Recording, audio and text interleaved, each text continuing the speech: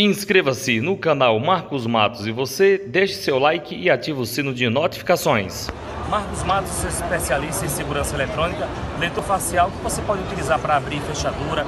E aqui no Mercadão, eles colocaram para você, vai ler o seu rosto evidente e automaticamente vai cair o álcool. Vem vir para cá. Ó. Afastando para cá. E aqui, ó.